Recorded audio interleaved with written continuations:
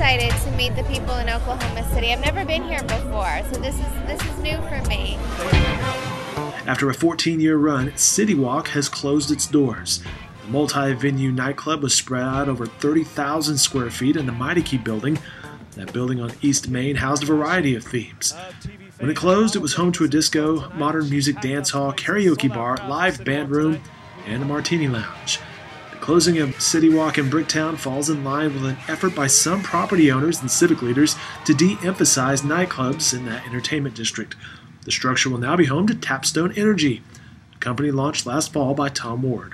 Redevelopment of the structure required that it be fully vacated, and construction is set to start next fall. Renovations expected to be completed by March of 2015. Officials say Tapstone Energy is a good fit for Bricktown's evolving character.